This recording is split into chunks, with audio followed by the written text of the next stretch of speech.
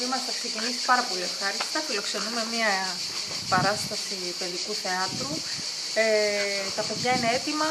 Μέσα σε λίγο θα μας υποδεχτούν. Γεια σας.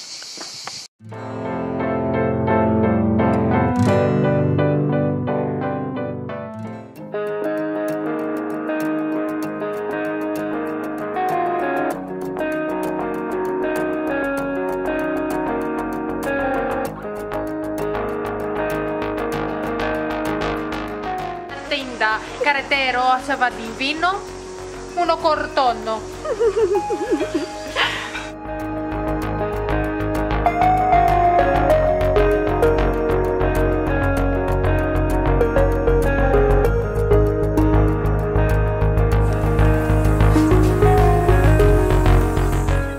Είμαστε στη Λευκάδα αυτή τη στιγμή γιατί έχουμε παράσταση, γιατί είμαστε τοπία, αν δεν το καταλάβετε. Αυτό θα το καταλάβει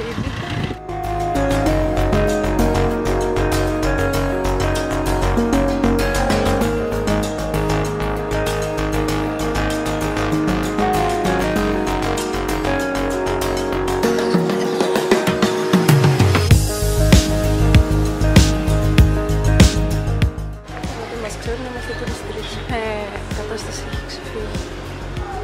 Μιλάνε όλοι στον δρόμο. Έχουμε κουραστεί με αυτή τη διασημότητα.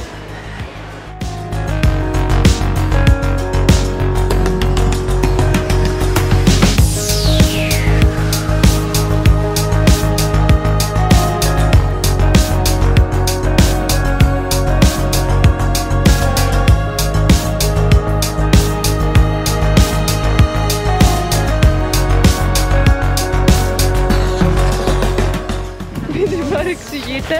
Απλά είναι ειλικρινής και θέλει να λέει τα πράγματα έτσι όπως είναι.